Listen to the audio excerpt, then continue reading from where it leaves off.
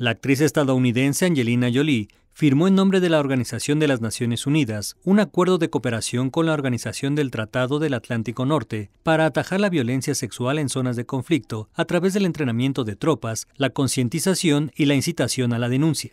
En su primera visita a la sede de la OTAN, en Bruselas, Jolie, quien ejerce de enviada especial de la ONU para los refugiados, señaló que la violencia contra las mujeres y niños es una característica cada vez más común en los conflictos que afligen el mundo. Yet the use of rape as a weapon of war has been regarded inevitable feature of conflict as a lesser crime and a problem too difficult or too uncomfortable for societies to address. This is a historic injustice and a critical issue of international peace and security. Para solucionar el problema, la actriz defendió la importancia de incrementar la representación de las mujeres en las tropas y de reforzar el entrenamiento.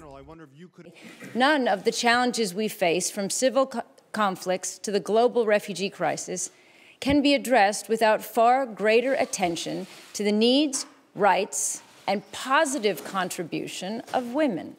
El acuerdo entre la ONU y la OTAN se basa en tres pilares. Entrenar a los militares aliados para reconocer y evitar el problema, detectar y denunciar los crímenes y concientizar sobre el tema en un intento de cambiar actitudes.